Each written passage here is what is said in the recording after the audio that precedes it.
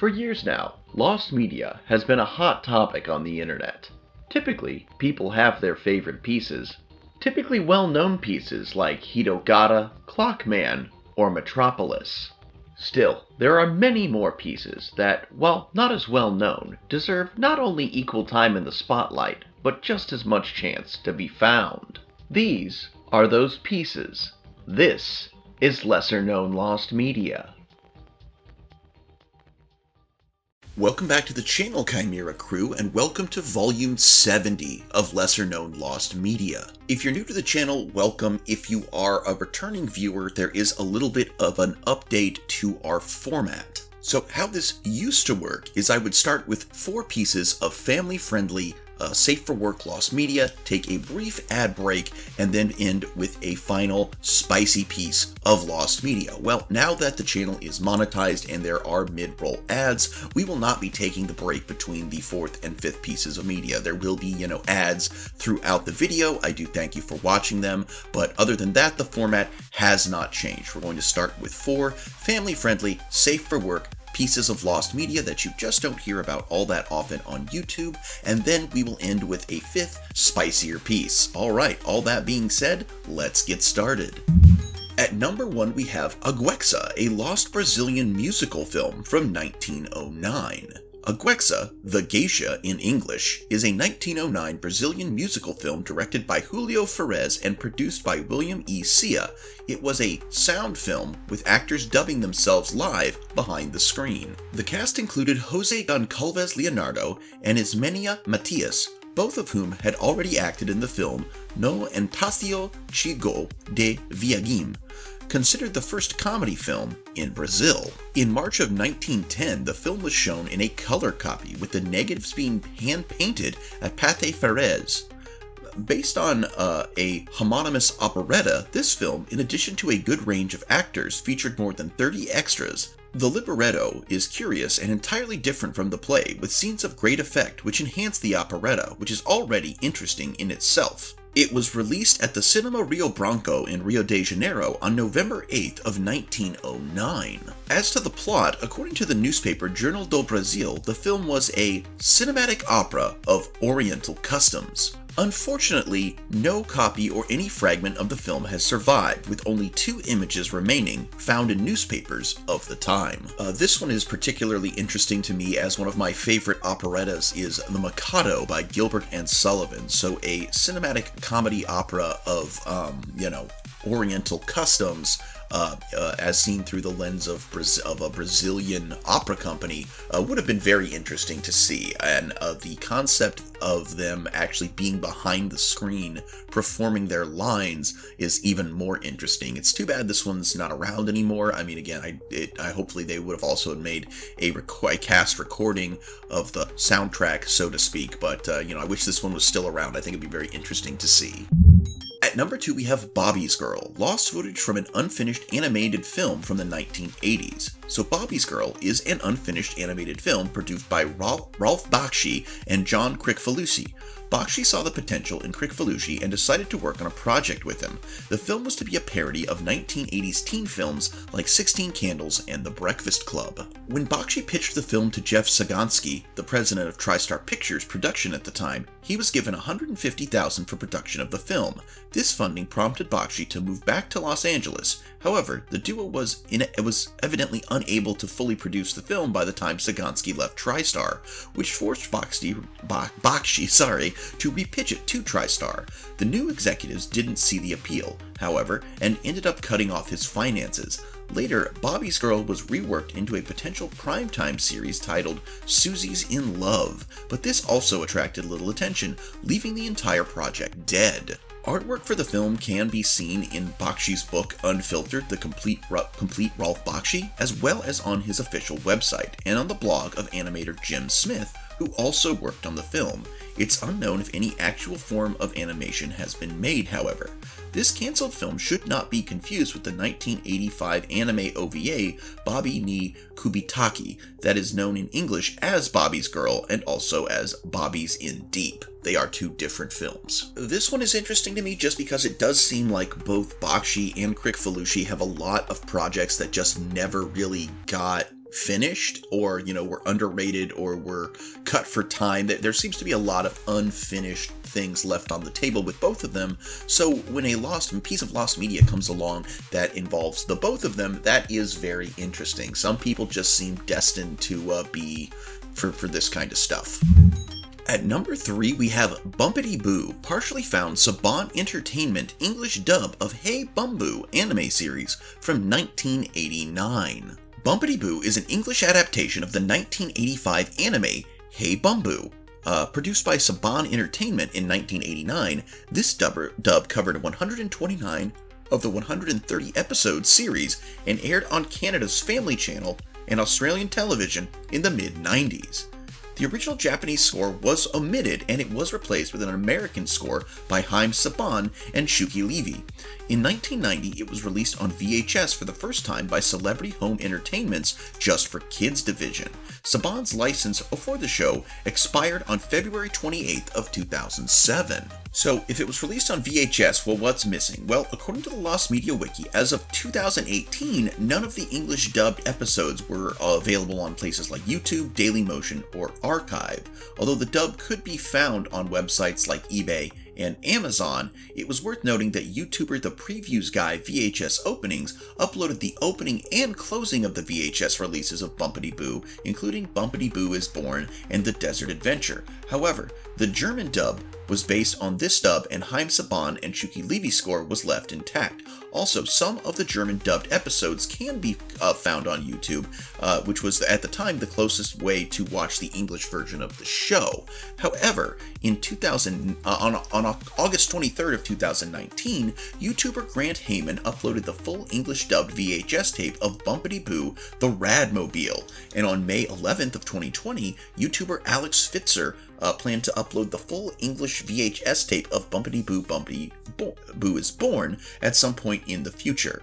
Um, on August 1st of 2020, the full VHS tape of Bumpity Boo is Born was uploaded on YouTube by Caster Retro, albeit in very rough shape uh, visually due to the age of the tape.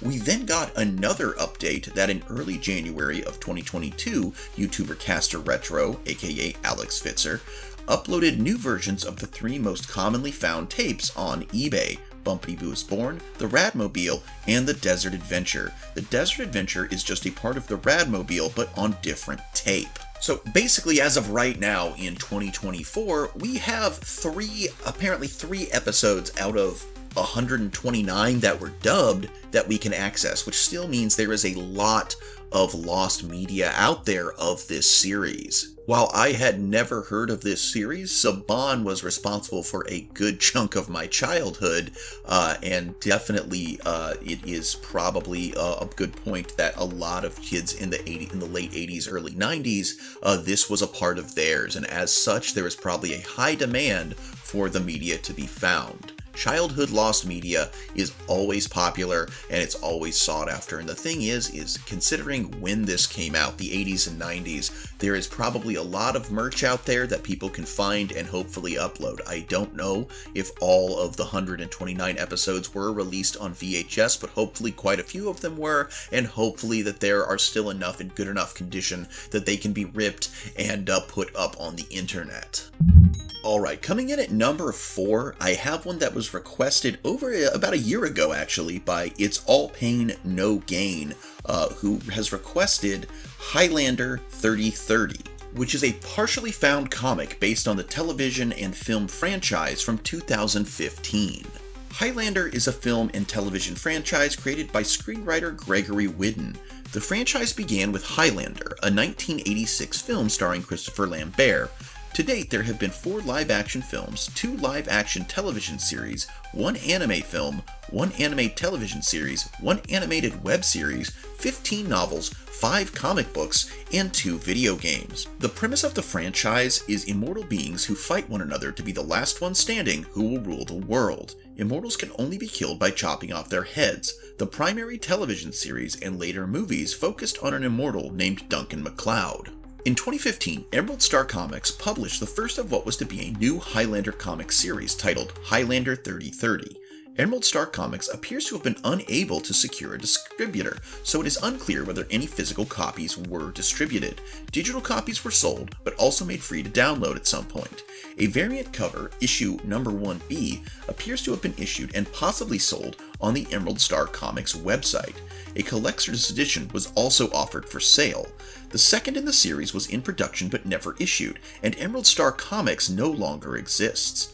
The first issue is no longer sold in either physical or digital form on any primary marketplace and, not, and cannot be found in the secondary marketplace. The plot of this comic for Highlander 3030 takes place, of course, in the year 3030, as the name suggests. It focuses on a now 1400 year old Duncan MacLeod living on a mining colony in Europa.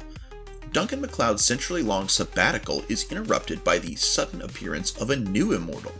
Roused back into the battle by the ruthless immortal Krov, Duncan fights to save Annika as she learns the truth about what she is. As to the availability, no version of issue 1, either number 1A, number 1B, nor the collector's edition, is commercially available. Drive-Thru Comics and Comixology no longer sell it and have taken down the old listing. The issues cannot be found in any secondary marketplace. I actually used to really enjoy the Highlander TV series. I loved the original Highlander movie. Not all Highlander media is created equally, but at the very least, uh, you know, this was uh, this seems like this could have been a cool story. Comic book definitely a good uh, a good avenue of media for Highlander, and I wish this one one could be found and two had continued as it was intended to because it does sound like it could have been a pretty cool story. Alright guys, time for that spicy piece of media. I hope you've been enjoying the video up, up so far. Uh, thank you for watching any ads that have come on during your view. And so let's get to that spicy piece. So for our spicy piece today, we have cans without labels, partially found backer rewards from Kickstarter campaign by Ren and Stimpy creator from 2012 to 2019. Just so you know, this article has been flagged spicy due to references of schmexual abuse and schmedophilia. I'll be honest, I do not love having to watch my language now that I'm monetized. That, that kind of sucks. But let's get into it. For the second time in this episode, John Kricfalusi appears. Now, in 2012, Kricfalusi, who created the Nickelodeon series The Ren and Stimpy Show, would create a Kickstarter campaign for a short film named Cans Without Labels. The campaign promised rewards such as t-shirts, pencil toppers, digital desktop toys, and other things. It ultimately lasted until 2013, and from then on, the production of the animation began. However, due to troubles with the production of the short, it resulted in most of the backer rewards to not be delivered, and after seven years of production, Cans Without Labels would release in 2019 with negative reception due to John's schmegsual abuse allegations being exposed in 2018, and for the animation being low quality with multiple issues, ending John Kricfalusi's animation career. The last update made by John about the project was on May 27th of 2019, and since then no additional updates would be made about the rewards, resulting in some of them being completely lost. Now, here's a brief overview of the rewards that were, you know, mentioned and promised on the page. For $1 backers, they would receive a copy of the short film, and it's unknown if it has any differences compared to the version posted on YouTube by John himself. Now, if you were a $10 backer, you would be the first in your neighborhood to own one of John's new digital toys, tear it out of the virtual package, roll it around, click it in sensitive areas, and watch it do something stupid and lovable. So, $10 backers would receive a downloadable link to a desktop toy which could be shared to other people online. As for the $20 backers, well, they were promised you can get a pack of three of my fancy ass new digital toys to collect and trade with friends from many lands through the internets. So they would be given a downloadable link to a pack of three desktop toys, which could be shared with other people online. As to the $50 backers, well, $50 backers would receive a DVD copy of the short featuring an animatic for a Ren and Stimpy short that was supposed to be released as a special feature for the SpongeBob movie Sponge Out of Water. However, the short was never produced, with the only thing finished being the animatic, which would later be posted online by a backer named I Am a Real Horse. Now, as the availability of everything, due to the lack of activity from the Kickstarter, it's safe to say that the desktop toys will likely be lost forever, with only animated GIFs, videos, and images being available. It is unknown if John still has the files for them, and if he is willing to give them to his backers. This one is especially interesting to me because, again, it is not only the second time that uh, Kricfalusi has shown up on uh, this episode, but he actually made an appearance in our 69th episode previously. Uh, you can check that one out uh, for him and uh, another animator and their not so safe for work uh, cartoon. but the thing is, is that, you know, I, I said that Kricfalusi seems to be one of those people that was destined to have all kinds of projects not come to fruition.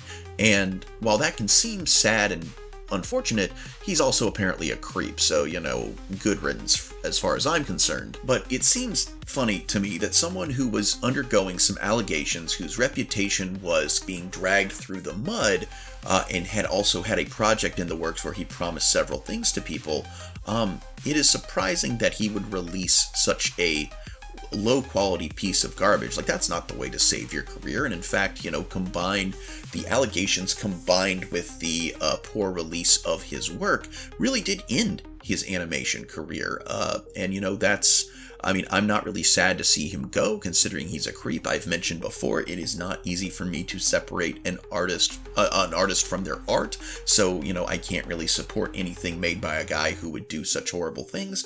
But I do think it's funny that, you know, even before all that, this guy just seemed, it seems like this guy's stuff being lost is just karma for his deeds. And uh, then he got lazy. So, um, you know what? Uh, interesting, but good riddance.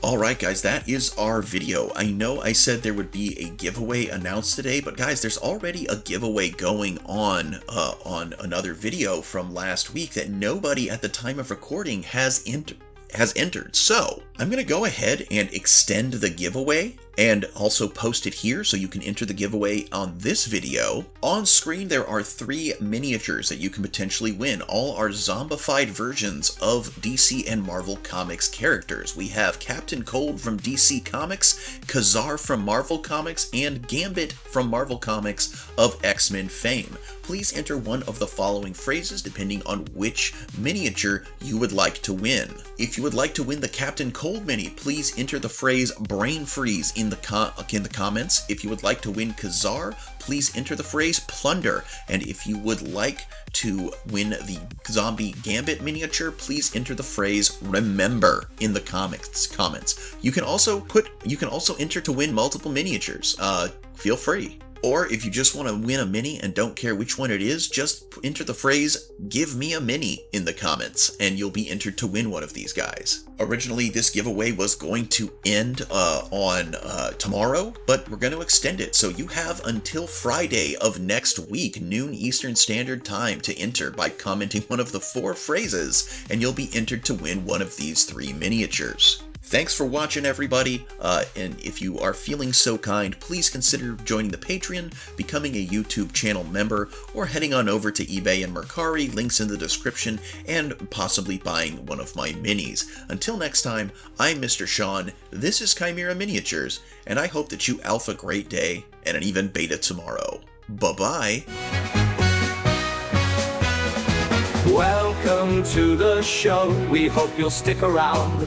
Mr. Sean is here to entertain the crowd. We've got a bit of everything, cause everything's allowed. Chimera Miniatures is here to stay. We hope we make you proud. Welcome to the show. We hope you'll stick around. Mr. Sean is here to entertain the crowd. We've got a bit of everything, cause everything's allowed. Chimera Miniatures is here to stay. We hope we make you proud.